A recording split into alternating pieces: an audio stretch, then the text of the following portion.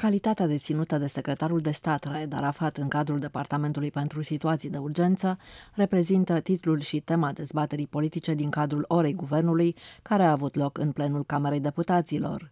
La solicitare AUR a fost invitat în Parlament să dea socoteală pe acest subiect ministrul de interne Lucian Bode.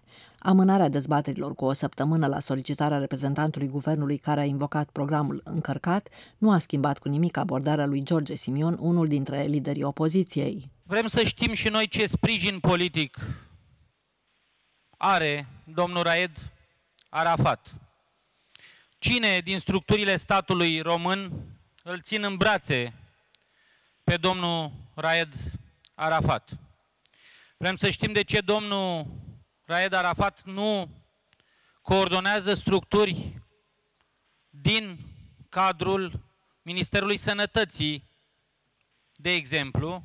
Mi se cere să dau explicații despre o numire într-o funcție care nu s-a petrecut în mandatul meu, s-a petrecut, așa cum bine știți, în urmă cu 8 ani. Cred că realizați cu toții absurdul și penibilul situației și sunt convins că majoritatea dintre dumneavoastră nu rezonează cu acest mod de a face politică. Există o decizie a unei instanțe din România, o să veniți aici la microfon să spuneți asta e un fake news. A admis acea instanță de judecată chiar și în fond lipsa calității de reprezentant DSU a lui Raed Arafat pentru că Raed Arafat a fost pus în funcție la departamentul pe situații de urgență, conform monitorului oficial, când această instituție nici măcar nu era înființată.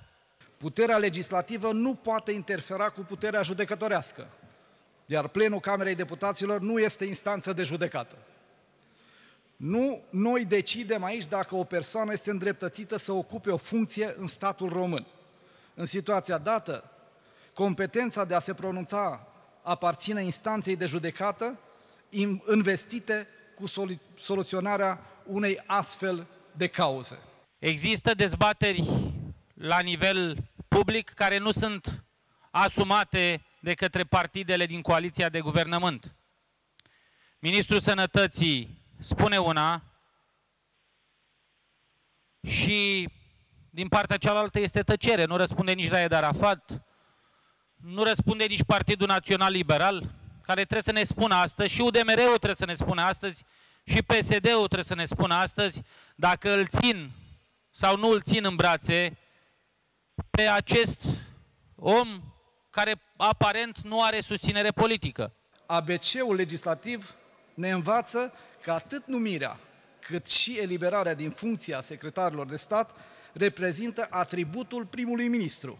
Iar în cazul de față, vorbim despre o numire în baza unei decizii din anul 2014 a primului ministru de atunci, completată cu acte normative subsecvente care evidențiază calitatea de șef al Departamentului pentru Situații de Urgență a domnului Raed Arafat.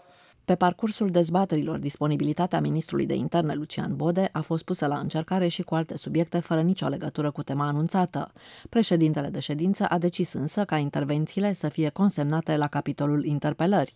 Nu același lucru s-a întâmplat în cazul unor întrebări punctuale adresate de către unul dintre foștii lideri de sindicat din poliție, care consideră că tema dezbaterii politice este una legitimă. Două lucruri ar trebui să ne clarifice domnul ministru Bode actul administrativ prin care domnul Raed Arafat a fost numit în funcția de secretar de stat din 2014 la zi, dacă există, pentru că o instanță în fond ne spune că nu există, și doi, din perspectivă profesională, dacă privim din munții Apuseni, colectiv, și 12 spitale care au ars, este exclusiv uh, competența Departamentului pentru Situații de Urgență, au murit peste 100 de oameni.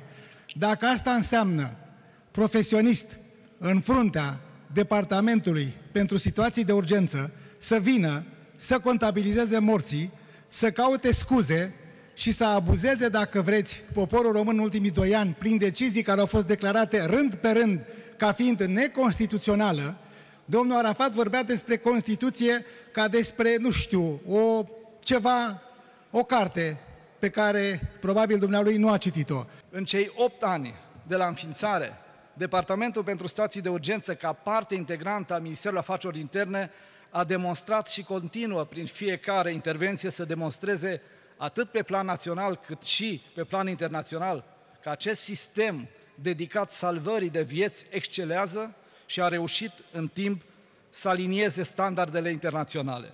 Acest fapt este confirmat de interesul unor state de a observa mecanismele de funcționare a acestui sistem de management al situațiilor de urgență și de a-l implementa în propria lor țară.